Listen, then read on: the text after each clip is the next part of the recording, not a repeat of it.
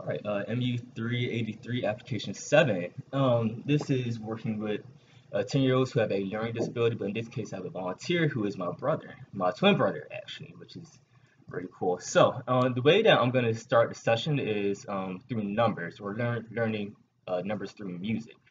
So, uh, pretty much what I'm going to do is I'm going to uh, strum X amount of times, and then you're going to hit that on either your drum that you have or any other instrument.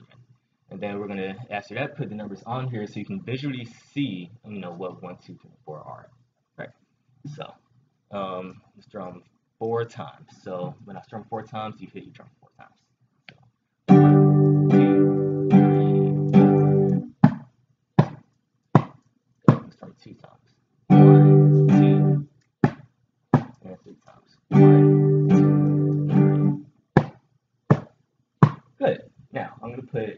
I'm gonna put four circles up here. What I want you to do is I want you to strum and hit with me as we point. So I'll strum it first and then we'll point. Alright? So here we go. Do. Here we go. Good. Take away one more to be how much? 30. 30. So let's do it again. So one, two, three. And here, here we go. One, two. Good. Take away another one. How much would that be? Two. So let's do two. Here we go. One, two. And by yourself. Here we go. One, two. Good. Take away one more, and how much you have now? Once we strum one time. Here we go. Good. And you can go by yourself. Here we go. Good. So now I'm going to put up any amount of circles, and I want you to tell me and hit it on your drum how much that would be. All right, ready? Here we go. And also say the number as well. So here we go. One, two, three. Good job.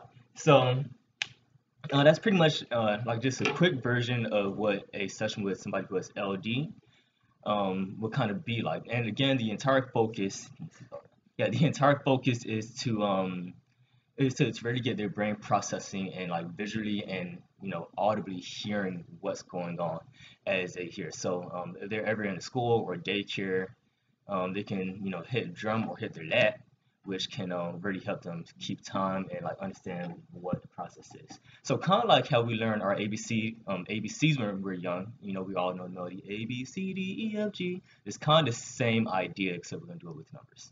So thank you uh, once again, Trevor, and have a good rest of the day.